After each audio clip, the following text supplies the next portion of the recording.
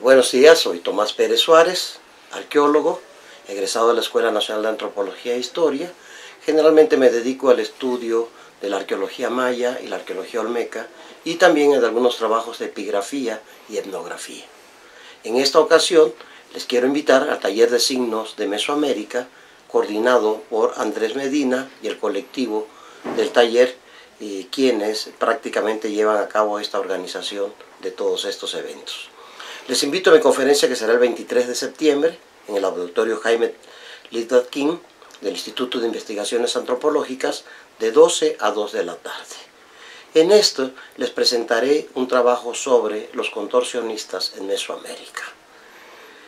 Mi interés por el contorsionismo surge a partir de alguna serie de monumentos olmecas que se han recuperado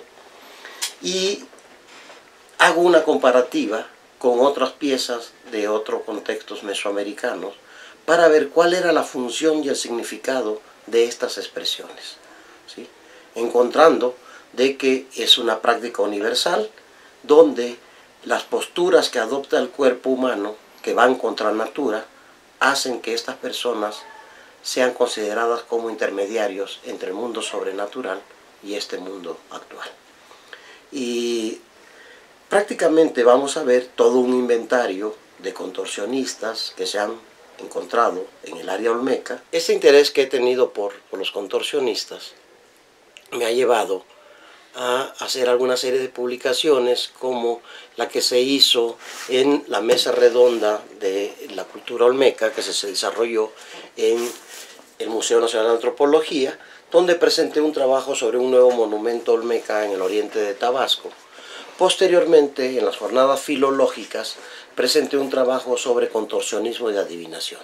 donde lo que propongo es que adoptar estas formas del cuerpo, tomar estas posiciones antinaturales, y que actualmente han derivado en espectáculos circenses y teatrales, en, la época, eh, en épocas pretéritas no era esa su función, no era una función lúdica la que tenían adoptar estas posiciones, sino era una forma de comunicarse con el mundo sobrenatural.